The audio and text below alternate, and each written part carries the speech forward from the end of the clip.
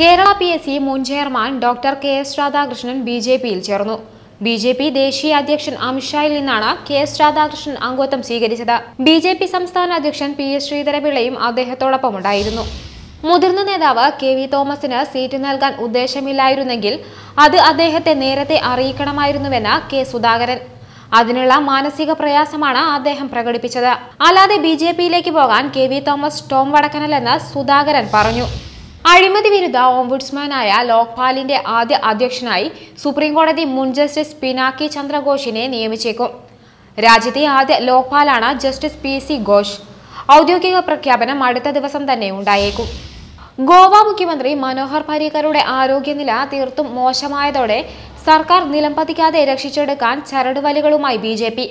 മുൻ മുഖ്യമന്ത്രിയും കോൺഗ്രസ് നേതാവുമായ ദിഗംബർ കാമത്തിനെ പാർട്ടിയിൽ ചേർത്ത് മുഖ്യമന്ത്രിയെ അവരോധിക്കാനാണ് നീക്കം.